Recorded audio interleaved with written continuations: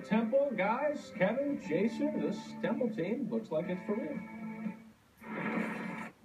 Temple's offense presents a challenge for the Notre Dame defense, being that it's mastered the art of the short pass. PJ Walker gets the ball out quick and to different targets with lightning speed and precision.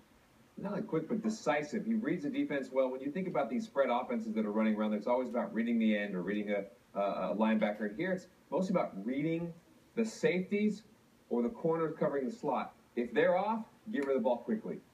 On this first play, motion to trips, getting the ball out to him right now. Not worried about taking shots downfield, more or less being prepared to get rid of the ball fast. It's like a running play for them. Five, ten yards at most. Let the receiver make plays in open space.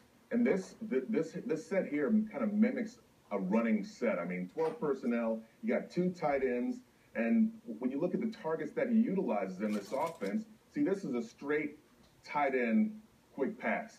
He's going to use the read option here and fake to the running back, hit the tight end coming right down the seam with a safety plan way we see the safety way back, and we don't even know where the other safety is. But they're in a two deep shell, bringing some pressure off the end. Just a huge hole.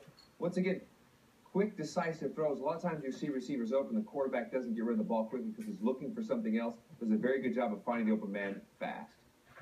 This one he utilizes the H back, and he's offset right off the line of scrimmage and the personnel is set. You don't really know what this is, and you have no indication. Again, right now they're going to utilize the read option right here and get the ball right down this seam and attack this open area of the field. Quickly. I think that's the key to Temple's offense is how fast the ball gets out of the quarterback's hands. Now, he's not throwing like particularly deep or long passes. I mean, they're not taking shots downfield.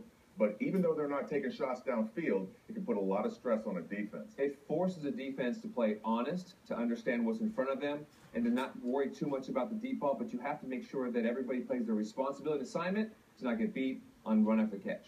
PJ Walker will test Notre Dame's ability to simply do their job. All right, thank you guys from Temple.